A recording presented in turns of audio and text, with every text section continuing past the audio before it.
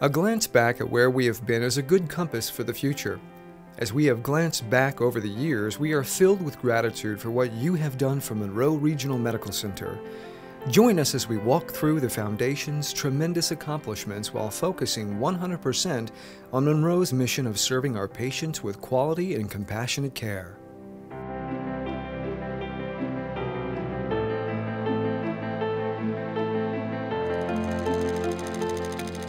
In the spring of 1985, five civic minded men, W.M. Palmer Jr., Richard Chazelle, Bob Schwab, Harry Mangarin, and Stanley Malever, met and agreed to develop plans for an ambitious project establish a fundraising arm of Munroe Regional Medical Center.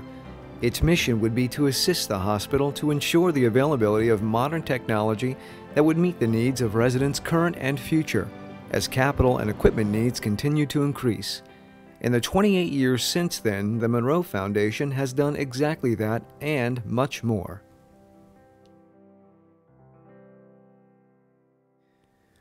On October 15, 1985, it was officially chartered with Whit Palmer serving as chair, and the first Pillars of Munroe appeal was started. Two years later, Dick Chazelle assumed leadership of the board, and the board voted to raise funds for cardiac cath and open heart surgery services, now known as Munroe Heart. This year, 2013, marks the 25th anniversary of the cardiovascular program at Munroe. Very early in 1987, the Pillars of Munroe was designed to be a foundation for an annual giving club that continued through 2012. Pillars of Munroe and Friends of Munroe afforded donors the opportunity to make a small or mid sized gift. In 1988, the Cradle Roll was created and installed near the nursery. Today, the Cradle Roll lists 739 names of babies born at Munroe. The Legacy Society was also started during this time. Steve Gray became the third chairman of the board in 1989, and during that time, the Ed Keaton Lecture Series was started, with C. Everett Koop, MD, as its first speaker. During the course of the lecture series, celebrities such as country singer Naomi Judd, actress Ann Jillian, and artist Mary Fisher spoke about such important health issues as hepatitis, breast cancer, as well as HIV and AIDS. During the 1990s, Chairman Bob Barnett, Dr. Norman Anderson, and Connie Brown led the foundation board. Projects included the dedication of the chapel, the Betty Stein Nursing Library, a full-time chaplain, and an elegant 100th anniversary dinner party at the Pioneer Garden Club. 300 honored guests enjoyed a historical perspective of 100 years of service to the community made possible through major gifts from the Whit Palmer and Harvey Klein family, our Palmer Klein Children's Express opened in 1997. Bob Little had the task of chairing the foundation board as it started its largest capital campaign to date. The $5 million Building on Excellence campaign was to help fund the construction of the new South Tower. The South Tower was designed to house a wing dedicated to the cardiovascular program, which would include cath labs, operating rooms, and a cardiovascular ICU. In addition, the tower would add 156 private rooms, the Johnson and Palmer lobbies, and the expansion of the intensive care unit on the third floor. The fundraising effort for the South Tower continued under the chairmanship of Frank Raspberry. The new $86 million South Tower would open in 2003, and the campaign of $5 million was completed with donated, pledged, and planned gifts during Lois Johnson's term as chair. Women in Philanthropy was established in 2001 under the leadership of Lois Johnson. With a goal of funding projects that benefited women's and children's services at Munroe, Women in Philanthropy changed its name to the Women's Giving Circle of Munroe in 2010. The Giving Circle raised $436,000 since its inception and purchased fetal monitors, scales, and warmers for the nursery and new scales for the pediatric unit. In 2007, Munroe became the only hospital in Marion County to provide obstetric services. The Women's Giving Circle funded two pre-screening labor rooms to help ease the crowding in the labor and delivery area.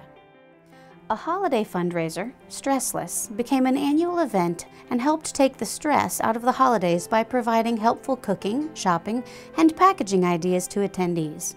In 2012, If the Shoe Fits event honored Marion Montanari with the Glass Slipper Award for her work and advocacy for women and children in Marion County. The Women's Giving Circle's last gift was an exam room in the new Children's Emergency Department. In 2004, the third annual Heart of Gold Golden Ocala Gala was held at Golden Ocala Golf and Equestrian Club, with the surprise highlight of the event being a donation of $1 million by Mr. and Mrs. Larry Roberts Sr. Their generous donation purchased a mobile MRI for Munroe. In 2005, changes were in store for the Munroe Foundation as it moved to a new office location. The foundation became a department of the hospital and a new executive director, Beth McCall, was hired. Terry Crawford served as chairman of the board of directors during the transition and was instrumental in encouraging community leaders to serve on the foundation board of directors. The first meeting of the new board was held on January 17, 2006. The new board's purpose was to raise funds for capital projects and nursing scholarships for Munroe Regional Medical Center. The board adopted criteria for becoming a board member, including a $1,000 annual contribution. Because of the generosity of the foundation board members, they exceeded the expected contributions. Not only has the board been successful in raising funds, but they are tremendous advocates and ambassadors for our community hospital. The Munroe Fellowship and the Corporate Honor Roll were established in 2007. These special gift clubs were created to encourage major gifts to Munroe. Charter membership included 33 couples and individuals in the Munroe Fellowship and 16 businesses and corporations who pledged $1,145,000 over five years. Membership grew over the next five years to 48 Munroe Fellowship members and 23 businesses and corporations. The first annual Flavors of Munroe, Cinco de Mayo, was held at Golden Ocala Golf and Equestrian Club in April of 2006. Flavors of Munroe became a fundraiser that the community looked forward to each year. It featured area chefs with their finest cuisines prepared around the themes of the evening. A Caribbean delight, Meet Me in Paris, Hawaiian Nights, Out of Africa, An American Adventure, and Under the Golden Sun pleased our palates all the while raising funds for capital projects for Munroe. The highlight of Flavors of Munroe came in 2011 when $416,340 was raised to help construct the Children's Emergency Department. The evening began with a signature gift from the Jett Travolta Foundation and culminated with another signature gift from Signature Brands. In 2007, we met a very special grateful patient. A wonderful couple graced the doors of the foundation to share their outstanding experience at Munroe and to make a legacy gift that would fund nursing scholarships in perpetuity. Angelica and Burl Munns were so thankful for the compassionate and quality care that Burl received while he was a cardiovascular patient here at Munroe. Angelica was a nurse in the Air Force during World War II. She had received her BSN and wanted to help guarantee that Munroe would always have quality nurses she established the Angelica G. Munns Scholarship Fund, a $750,000 endowment for nursing scholarships. Her dream was to provide scholarships for RNs and BSNs. This year, 2013, her dream will come true when the first BSN scholarship recipient is granted funding through a subsidiary of the Munns Scholarship Fund, the Therese McPherson Memorial Scholarship. The Munroe Auxiliary has been an exemplary partner with the Foundation, always mirroring the hospital's mission statement.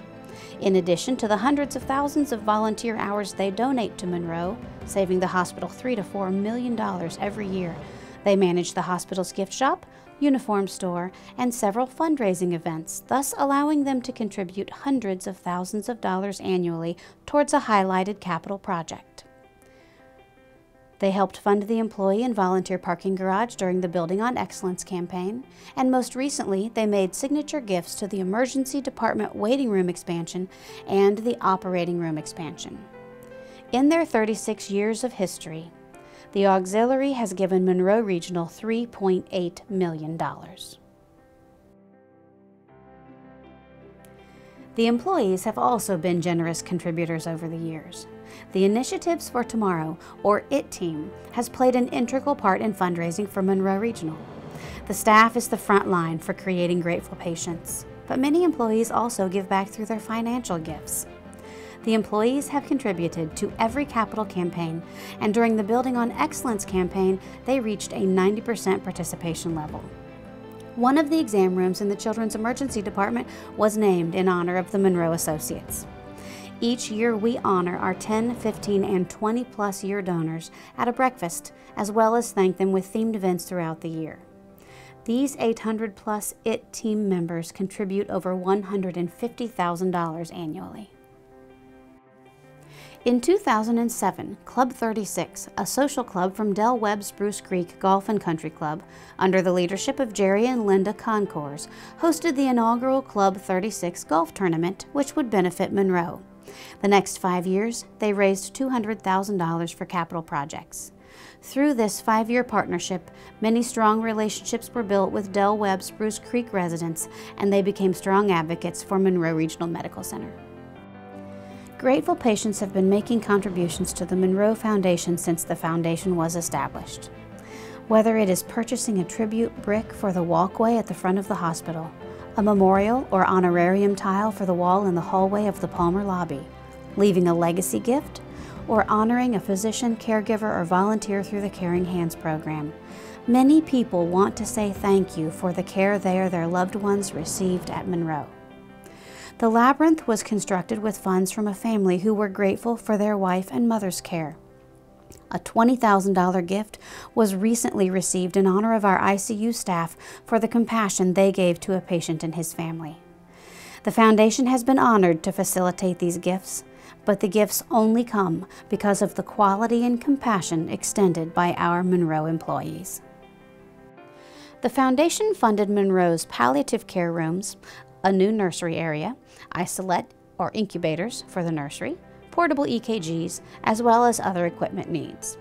All of these needs are very important, but there are three crown jewels that stand out among all other capital items funded by the Foundation.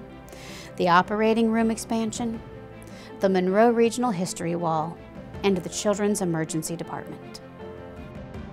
In 2008, planning began for the expansion of the operating rooms.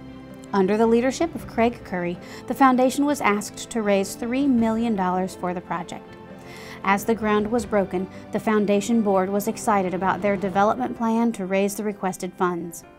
A signature gift was secured from Harold and Opal Plumley for the surgical waiting room, and their gift kick-started the momentum for others to pledge significant gifts to complete the project three new state-of-the-art operating rooms, and a new post-anesthesia care unit were constructed as renovations began for the beautiful Plumley Surgical Waiting Room. A grand opening was held on March 10, 2010. Donors were hosted to a reception and tour of the operating room expansion, while Harold and Opal Plumley were honored for their tremendous contributions. In an effort to showcase the rich history of Munroe Regional, Dr. Harry Edwards led a fundraising campaign with the objective of creating a history wall within the medical center. The History Committee, led by Dick Chazelle, was tasked with determining how to showcase the history. Committee members Roger Baldus, David Lee Skipper, David Cook, and Helen Dalton met with Dick Chazelle weekly to put the pieces together. Bill Chambers was the chairman during this time and took special pride in the wall. His father, Dr. Bill Chambers, was a physician in our community, and the family graciously donated his coat and medical bag for display. On November 30th, 2011, the History Wall was unveiled during a special reception and ceremony that recognized all the physicians, retired physicians, and deceased physicians' families that made the History Wall possible. Countless patients and guests are enlightened daily with the beautiful history wall on the third floor. On January 18, 2011, at the regular board meeting of the Munroe Foundation, a presentation was made by Paul Clark and Dr. Frank Biondolillo on the construction of a children's emergency department within the walls of Munroe. The Palmer Klein Children's Express had served Marion County well, but it was now time to increase our services for the 25,000 children coming through our emergency department doors annually. The Foundation Board was asked to raise $2 million, and they unanimously and enthusiastically approved this project. George Kirkland became their chair in 2012, and his leadership helped close out the campaign. In just two years, $2 million was pledged through signature gifts, community events, and employee support. Construction began on the Children's Emergency Department in March 2012. The family-friendly, nature-themed facility has eight exam rooms, triage and x-ray rooms, a nurse's station, and a beautiful lobby which was donated through an anonymous gift. On August 9, 2013, a grand opening reception and tour was held for our donors, and all were thrilled to see how the children of Marion County would receive care when brought to Munroe Regional Medical Center's Children's Emergency Department. Because of you, Munroe Regional Medical Center is a better place to provide high quality and compassionate care. Because of you, over $12 million has been raised for capital projects that serve our patients. Because of you, student nurses are able to finish their training. Because of you, our babies and children's emergency needs are met. Because of you, we can meet our mission statement.